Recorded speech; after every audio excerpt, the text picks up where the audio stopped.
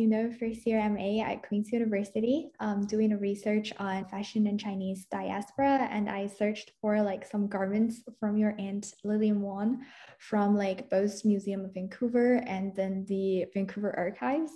So, mm-hmm. would you mind to like introduce yourself a little bit? Sure. Uh, my name is Paul Yee. Um, I'm born in uh, Saskatchewan, but I grew up in Vancouver. Uh, Lillian Wong is my aunt. Um, she raised me from the time that when I was about three to four years old. I arrived in her home in about 1960. And so she raised me, and I was with her until she passed away in 1986. So um, my Aunt Lillian uh, played a pivotal part in my life. Uh, she was born in Vancouver in 1895, um, and she lived through all the, the horrible years of racism mm-hmm. in Vancouver. Um, by the time I arrived in her home, uh, race relations were much better, but mm-hmm. she was very conscious of being Chinese. So um, she spoke fluent English, she spoke fluent Chinese, she could also read Chinese did you spend like most of your like childhood and teenage years with uh, Aunt Lillian? Yes, I did. We we moved several times. Um, by the time she passed away, I was working at the archives.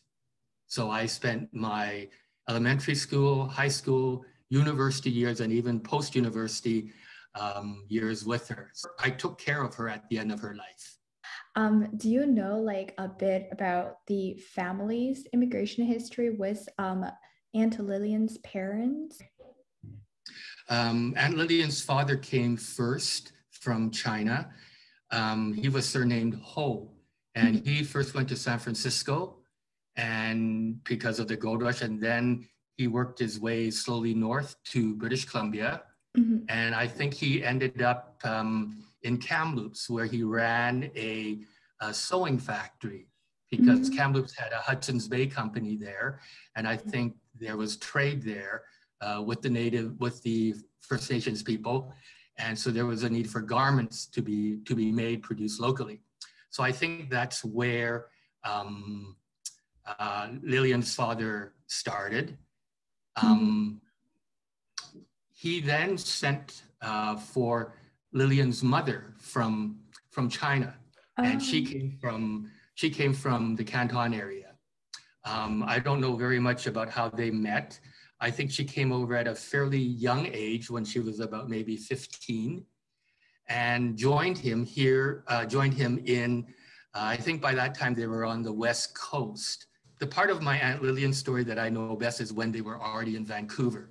Oh. So her father a man named Ho Jin Cheng ran um, a merchant tailor uh, store. So he mm-hmm. had sewing machines, he hired seamsters um, to produce clothing um, mm-hmm. that, were, that, was sold beyond Chinatown.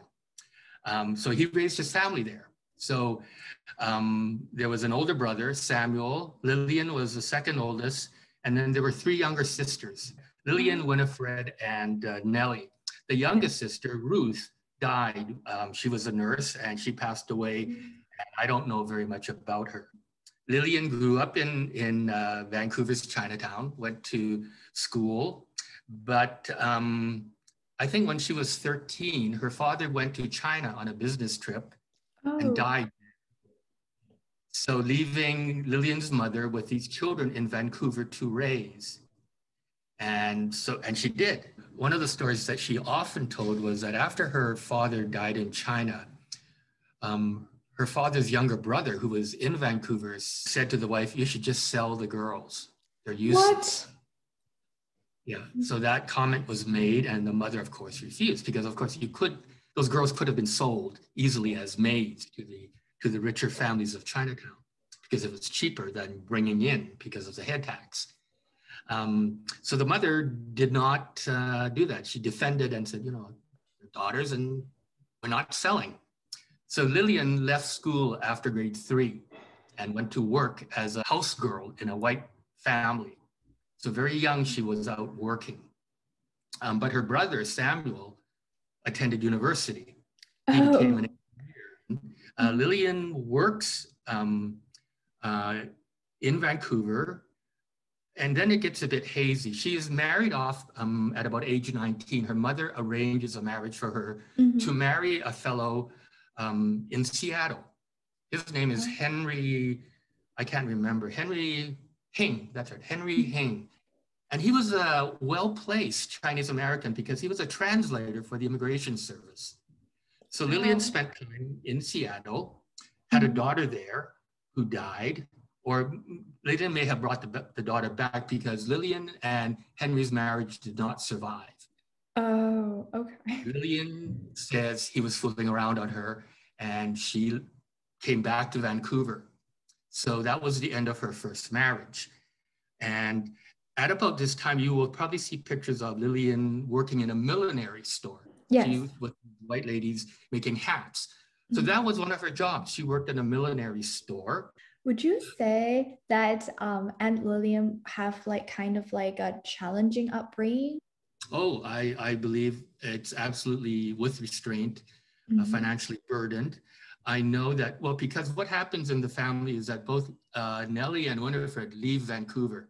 They get uh. married, move to America. So Lillian is the one who winds up taking care of the mother who passes away in the 30s. So mm-hmm. Lillian, of course, I, has um, at least, to my knowledge, two other marriages in mm-hmm. Vancouver. She hooks up with other Chinese men. Mm-hmm. I know that um, she had children. She bore more children, but they didn't survive. Oh. Um, they didn't survive. And I remember being at the hospital with her, and the doctor said, Oh, what's the scar? And she said, Oh, it's from an abortion, mm-hmm. which I mm. never knew about. Um, so she had these um, um, relationships with other Chinese men. I don't know anything about them. Mm-hmm. She never talked about them. So she never talked about her private marriages. But the what the things that did pass on was that in the 1940s, she adopted a child, uh, uh, a child who was of mixed blood. He was half Chinese, half white, mm-hmm. an abandoned child that the church helped her adopt and she raised this child with her, her, her husband, who was then my uncle. So in the 1930s, she hooks up with Fun, who is my uncle. And they and they survive as a couple until he passes away in 1969-ish. Her social status actually went down, you know, for a woman who was Canadian born her status went down because she wound up marrying or being with my uncle who was an immigrant. Mm. So she mm. did not marry a fellow Canadian born or an American born whose status would have been higher. That is a very interesting point. So, what is there this hierarchy, like level among like earlier immigrants that there's like kind of the hierarchy based on when you came here, if you were born here, and if you married to a white man? I, I believe so. The, if you look at the, the records of marriages for the first generation born in Canada of Vancouver, they tend to marry other in the other prominent families. Mm. There, there wasn't a great deal of selection, right? So of course there's a mix and match. Um, but if you look at Lillian's first marriage, it was to an American-born American. Mm-hmm. Uh, Winifred's husband was also um, American-born. Um, so I think there was a hierarchy, social pressure that you you marry up if you can, or you you want to stay in the upper classes, which is the English speaking classes, the Canadian, the ones with businesses in Chinatown. Wow. And then you said when you like um lived with Aunt Lillian, she was already like in like around 60. She was at least 65 because I think she was just get starting her pension. And what was like your earliest memories of her? Like, because I saw like in the images she were like very stylish with her sisters. What was like your earliest memory of like what she would wear? Well, she she had two sides to what she wore. At mm-hmm. home, mm-hmm. she wore. I mean, for all of the for for, for herself and me and my brother, mm-hmm. uh, we always got dressed up nice to go outside. But as soon as we came home, we changed into, you know, some more ordinary clothes. Mm-hmm. So whenever my aunt went out, if she went to a banquet, she got really, really dressed up. Mm-hmm. Now, I should tell you one thing. my aunt was very proud of her looks. Wow. She was very proud of her looks. She said that when she was young, men praised her. And she used this phrase um, in Cantonese, it's ngô mei feng an, which is something like eye, you know, eyebrows of a swan. Wow. Eyes of a phoenix, you know, ngô mei feng an. It was that, that's how they described her beauty. wow. So she was very aware of her her good looks, Mhm. and I think that affected her style. She certainly um, uh, had a huge wardrobe. So what I remember about her was that every season, because we lived in a very very small house, we would Mhm. do this seasonal change. She would bring out all her summer hats and all her summer dresses and her summer coats, and she'd Mhm. pack away all her winter hats, winter coats, and winter outfits in boxes and put them away. So this happened every year because she had so much clothes. So she, you know, but she seemed to wear a few outfits over and over and over. Um, Mhm. They were dresses. They were always. She wore mostly Western clothing, Mhm. but she did have um, cheongsam. She had one that She was in black. She had it in black. Mhm. I and I think she only wore it when um, I think she was buried in it. Um, her stepson arranged the funeral, so he uh, had the garment, and that's what she was buried in. And I think she wore it at his wedding as well. Mhm. She didn't seem to care much for wearing the cheongsam. She, whenever she went to Chinese banquets, weddings, whatever, it Mhm. was always Western Western suits, Western suits. uh, wom- women's suits. Do you know where she mostly get her clothes? Would that be from the sisters or get it tailored or from like mass production? I think she would have been stylishly dressed because her sister, Winifred, worked for a department store, worked for Oh. something called Marshall Field, which- was a major department store in America and had to be very fashionable. And as well, Nellie, I think, married a diplomat, a Chinese diplomat. Oh, wow. She was also very fashionable. I think they, they were very aware that they were very attractive women and Mhm. dressed to it. And also they could afford it, at least in America. The, those two sisters um, Oh, were wealthier. And I know they sent Lillian clothing. Money? I know Oh, clothes. they sent her clothing, nice items, like nice suits and whatever. I, sh- I'll, I'll tell you this, for all the years that I lived with her as a child, Yeah. I don't think she ever went shopping for clothing. What? It seemed, she- it seemed that she already had everything she needed.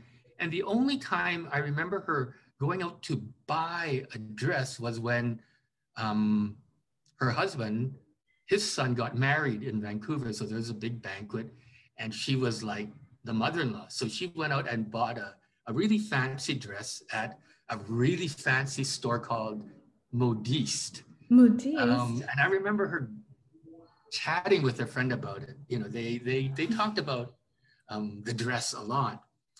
But literally, my aunt did not shop. She was very careful with the money in that household. um, Mm. So she wore her her nice clothes over and over and over. She had lots of shoes, but she took really good care of them. You know, she would always be, you know, coating them with white whatever to make sure that they could be good for another another season. So she rarely went shopping for clothing by the time I got there. It's really interesting. Like you, she had a lot of clothes, but you never see her like shop, go shopping when shopping.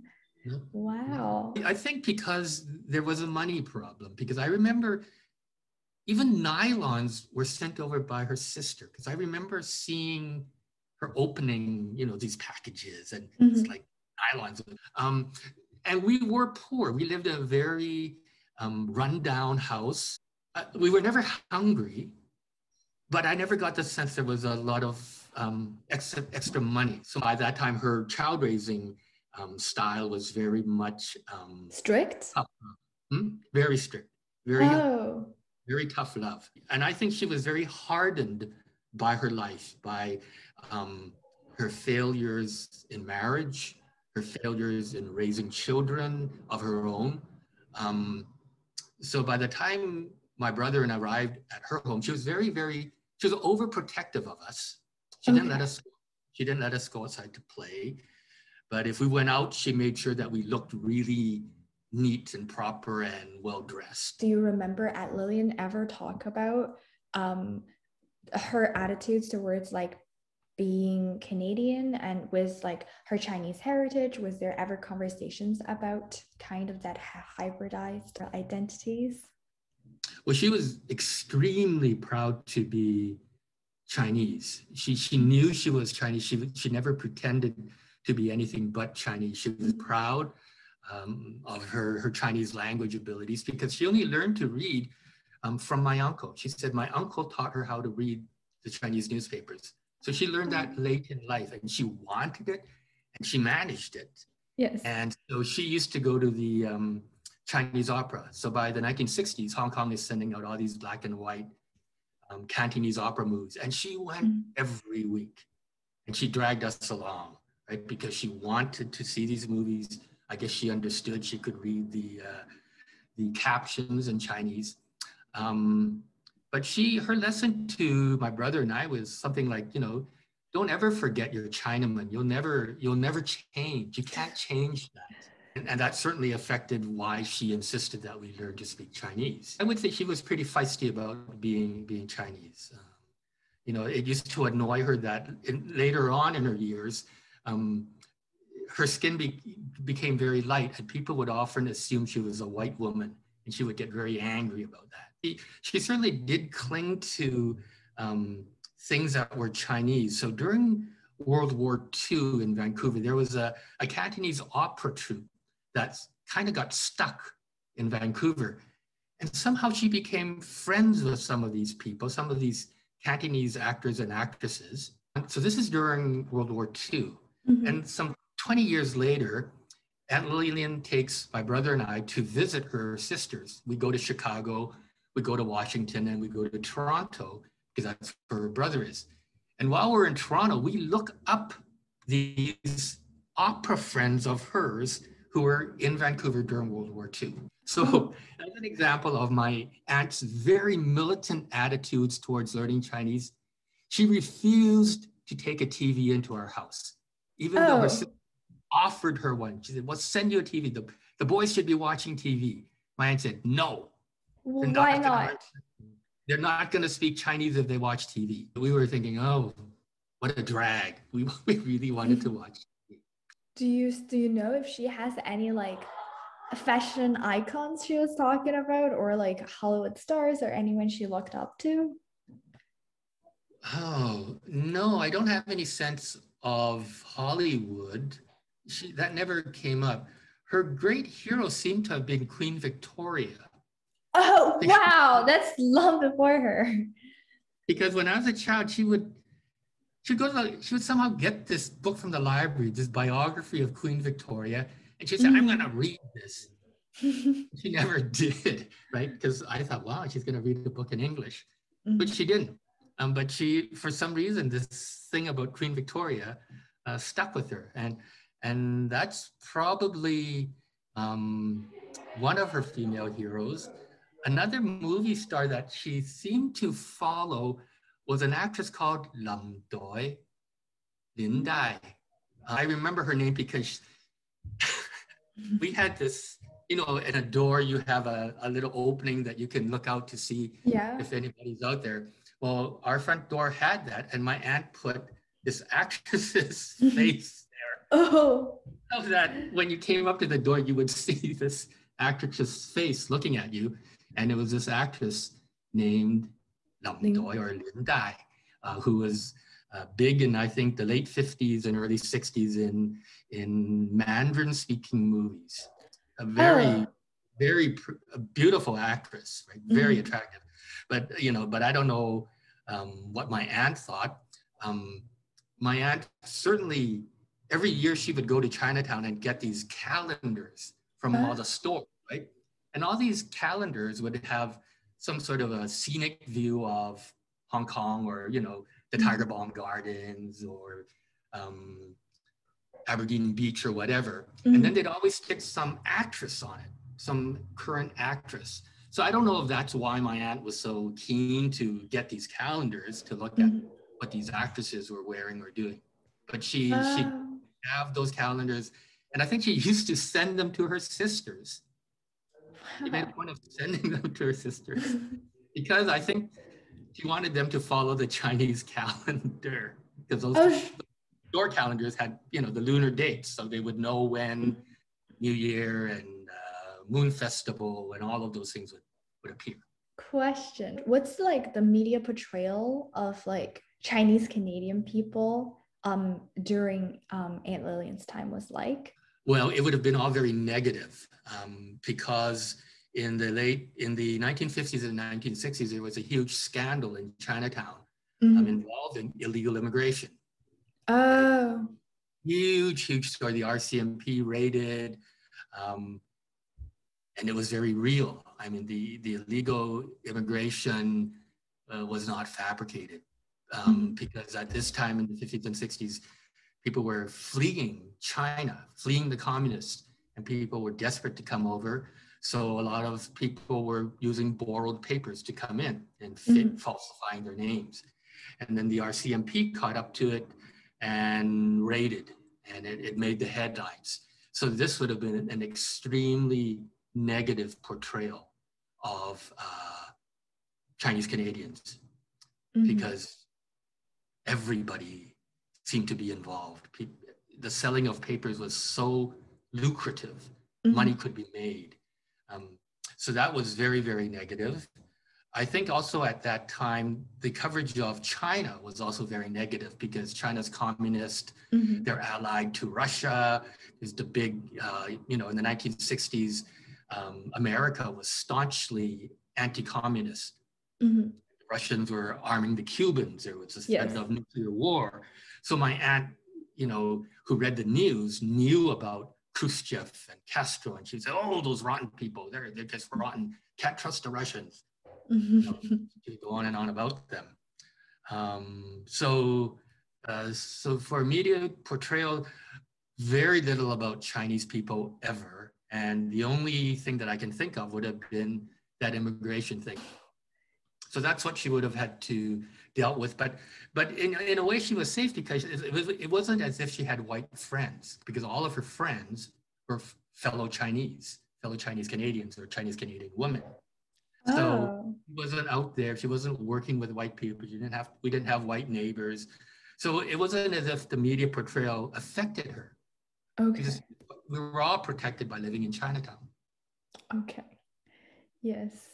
Um, yeah, I also read about like kind of people couldn't like it's harder for them to like find jobs outside that environment and to connect with people who are like of different heritage. So it's kind of Mhm. like how the communities formed and it's like really great to hear Yeah. from you of like how families make those choices of like where they live. The only white friends that my aunt Lillian had were the white missionaries at the churches. Mhm. um, in particular the Good Shepherd Anglican Church, when those were the missionary ladies who helped her adopt this child in the Child. 1930s. Um, so she always had very fond memories of these uh, white women uh, who were missionaries and who really tried to work with the Chinese community. She was Mhm. very fond of them, and because she spoke English, she, you know, she had access to them. So if we go back to the creative challenge, would you Mhm. um probably like imagine what your aunt would wear a gallery show, like a kind of a fancy event in her younger years? Do What you year have say? What year? um okay, she was born in like 1895, so her coming of age would probably be like um around 1915, so late Mhm. 1910s. Be it a Western event. event or a Chinese event? Um, a Western event or like in Canada or the community like Vancouver, Chinatown. Yeah. I think she would have been, she would have gone out and made a huge effort to buy whatever was really, really fashionable. Like she would have made sure she looked very good. Mhm. Um, and I, I draw that because that picture of the three sisters, um, which is from that period, Yes. they look fabulous, right? And I, They and I did. think- and I think it was very easy for them to to do because I think they somehow had a fashion sense and they could sew like my aunt could sew. She made she could make clothing. And certainly my aunt was aware that looking good was important um, going out. Um, i remember when we were moving out of that house we we opened these trunks and there was there was all this glittery stuff. Like it was it was her old old clothing from probably her coming out years like flimsy dresses i remember them being beaded beaded. They, they, had little shiny things like not not sequins, but little little pieces like clay things beaded into the fabric, and they were long, old-fashioned dresses. I think they were from the 20s. So she had, you know, nice clothing, and she knew to save them. But I think, you know, she saved them, you know, for many, many years and forgot about them. And then then they weren't useful anymore thank you so much for like um sharing a lot about your aunt and your family with me. Good. I, I'm ho- I hope you can use um, uh, the stuff from her collection, from her photographs. I hope they help you somehow. I, you must be one of the first people. I don't know. I, I left them there when I moved to Toronto. So it's been like 30 years, over 30 years since I looked at that stuff. Did they show you the glass portrait of her? No, but they showed like portrait of Lillian at 16, which was probably the most interesting, one of the most interesting one. And it was like kind of like colored with like watercolor. Okay, I think that's it's it's a portrait painted on glass, and I think that's the age 16. And and I know that there it was touched up by color. Yes, yes, that one. Okay, so you've seen it. Great, good.